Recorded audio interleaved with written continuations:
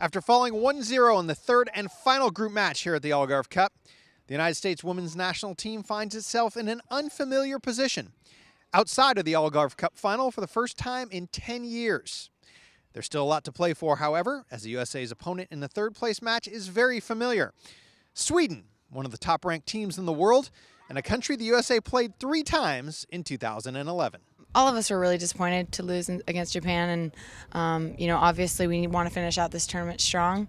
Um, it's important for us to bounce back, come together as a team, um, kind of regroup, and, and, focus on what we need to do in, in the next game, and um, come out as strong as possible. Because right now we're preparing for the Olympics, and we need to be good to go, you know, come this summer anytime, yeah, you have a loss, obviously we're going to be upset. You know, it's the whole point of training and working hard and developing um, ourselves as within the team and stuff is to win games. So obviously yesterday was a disappointing loss, but we have a big task ahead of us with Sweden, and this is just like any other um, kind of preparation for a world championship. You know, if you have a loss in the World Cup um, or the Olympics, then you move forward. There's always a, a good feeling you lost, you can learn from that and bring it to the next game.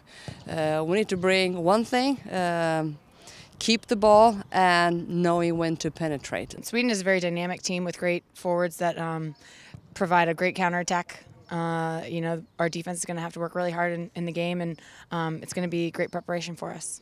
They're always a physical team. They're um, soccer savvy, and they usually play a 4-4-2 like us, and um, present like a good physical game with some speed and athleticism as well. Um, so I think if we can kind of regroup and um, keep the ball at the right times, but um, you know be a little bit more dynamic and um, in the final third and capitalize on our chances, then plus play good def team defense, I think we'll be okay. I think that going into this next Sweden game, uh, it's going to be important for us to keep the ball. I think against Japan, we didn't really do a great job of uh, holding our possession. Uh, we gave it to them way too much, and you know they ended up having the ball most of the match. And so I think next game we're going to look to dominate a little bit more, um, have the ball in our court, and uh, hopefully, um, you know, take it away. If you dispossess too early, then it will be a lot of defending. Uh, but if you if we have a little bit of a you know a little bit more patience in the way we attack, they will drop off, and uh, whoever is playing up top in Sweden will not be uh, as dangerous. Sweden's a very talented team. I think that they're going to provide a good challenge for us um, in the game, and uh, that's going to help us prepare for the Olympics. So we're excited to play against them. That's it for this final edition of Studio 90 from the Algarve Cup in Portugal.